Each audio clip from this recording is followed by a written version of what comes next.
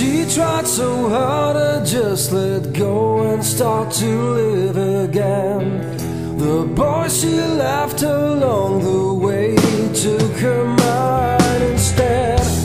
Both knew well there was no point, they took their separate ways. But life chose differently.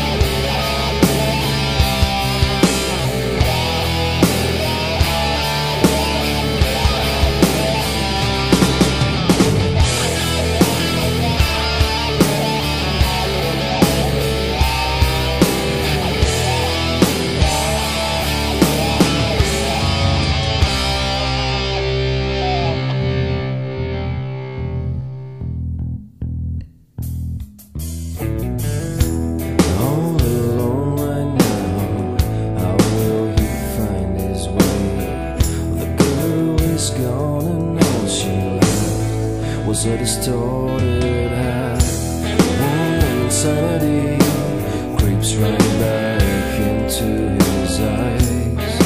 What is healing sometimes?